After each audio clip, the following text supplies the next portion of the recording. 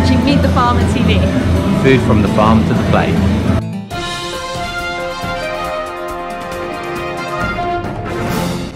I'm Michael Clark, your host for Meet the Farmer TV. Every once in a while, we take you on the road to find some farms and meet some farmers in far off areas.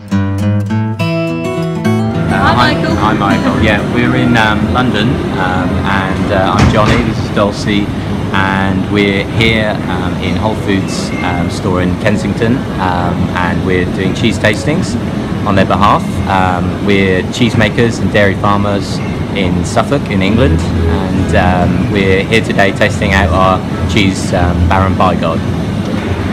So I think the most important thing about what we're doing and what we're trying to do in everything that we do with our business is that the uh, the commodity milk market in the UK is very difficult for farmers and has been for some time now, and it's quite hard at the current market price for um, a dairy farmer to turn a profit. And there are dairy farmers going out of business every single day in the UK at the moment, uh, and we've been really trying to find ways. Um, to make dairy farming exciting, profitable, something that somebody would want to go into rather than out of at the moment, um, and trying to help other dairy farmers to do the same. So diversifying, adding value to your product. You know, that we're, we're turning a proportion of our milk into uh, an added value product of unpasteurized cheese.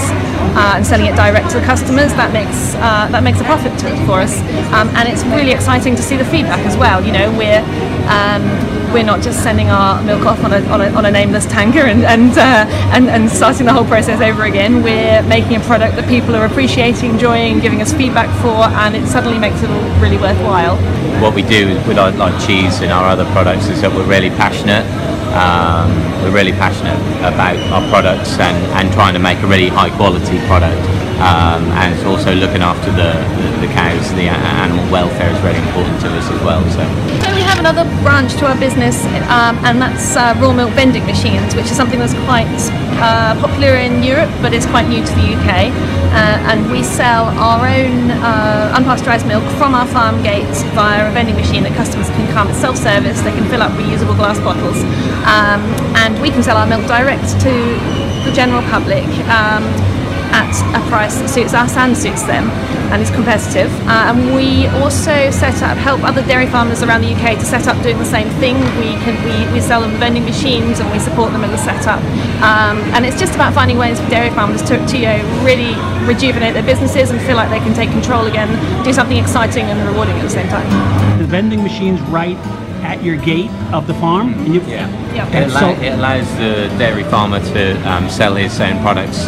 It doesn't have to be a dairy farmer. We could be talking any type of farming that you can sell your products directly, and you don't have to man the shops, so to speak. So you can have a small shop and still make make make it pay, make money from. it. So are the machines uh, adaptable so that if you have larger, say, produce and you wanted to package that into the machine, you can? Yeah, I mean it, to a, to a point. I mean, yeah, you can't like put wheelbarrows in it, but Gonna get a um, huge pumpkin in there, right? yeah, you probably have to have small pumpkins, but um, but um, I mean there is machines out there. If you, I'm sure you can if you look look in the right place. I think it's uh, what's important to me. Um, what I'm really passionate about is um, trying to bring the value of the product back to the farmer and back to the, the person which has really done all of the all of the hard work at the start. Um, that's important to me, and um, that's what we're trying to do with our own business. But equally, I'm really in, interested in helping other people um, being part of something bigger uh, going forward with the future.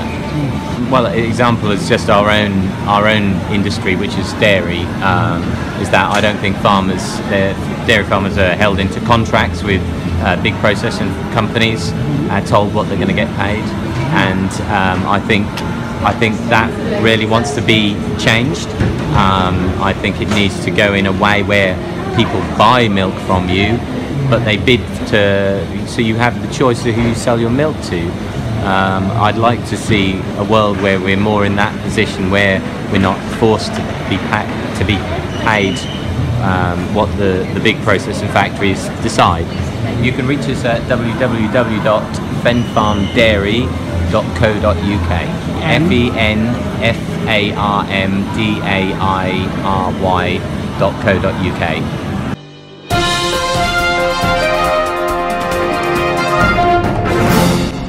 Meet the Farmer TV is independently produced and funded by Melly Productions, Leslie P. Jenkins, Photography and Graphic Design, and Planet Earth Diversified. Independent reporting to get you the best information about local food and food from the farm to your plate.